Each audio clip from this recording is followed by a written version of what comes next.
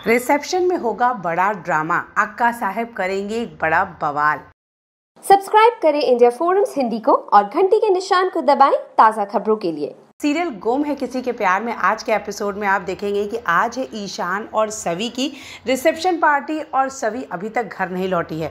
दरअसल सवी अभी तक बता ही नहीं पाई है कि उसने जॉब ज्वाइन कर लिया है और ये बात वो अभी तक ईशान तक को नहीं बता पाई है। और घर में रिसेप्शन के टाइम पे आप देखेंगे, लहंगा लेकर यहाँ पर अस्मिता और अक्का साहब सभी के रूम में जाते हैं। सभी रूम में नहीं होती है। और इसके बाद तो फिर पूछिए मत। होता है बड़ा ड्रामा। जस्ट रिसेप्शन से थोड़ी देर पहले सभी पहुँचती है और इस बात को लेकर अक्का साहब को बहुत गुस्सा आती है। और अक्का साहब ईशान के सामने ये ऐलान कर देती हैं कि रिसेप्शन तो होगा, पर इस रिसेप्शन पार्टी का हिस्सा मैं नहीं रहूँगी। ईशान ये बात से बहुत दुखी हो जाता है और सभी को कहीं ना कहीं लगता है कि उसकी वजह से ये सब कुछ हो रहा है।